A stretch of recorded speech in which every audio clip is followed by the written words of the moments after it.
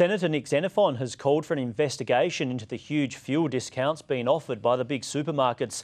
He says the offers will hurt customers in the long run because independent service stations will be forced out.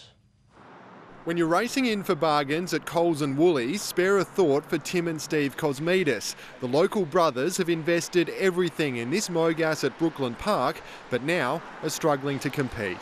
The options for me and my, my family are to start looking for work. The big supermarkets are currently offering discounts of up to 45 cents a litre for selected loyal customers. Senator Nick Xenophon says it's left other retailers under the pump. The ACCC needs to get off their backside on this. If you squeeze out the independents like Tom, then we'll all end up paying more in the long run because there'll be less competition in the marketplace. Customers like Andrew Larkos have chosen to boycott the larger chains. Why should I support the big guys that aren't helping us the little guys out? Coles claims it's trying to save Aussie families money and points out the independents also offer discounts like this one at Mogas just three months ago.